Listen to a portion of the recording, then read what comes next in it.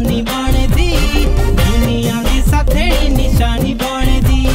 ਤੇਰੇ ਮੇਰੇ ਪਿਆਰੋ ਦੀ ਕਹਾਣੀ ਬਣਦੀ ਦੁਨੀਆ ਦੀ ਸਥੇੜੀ ਨਿਸ਼ਾਨੀ ਬਣ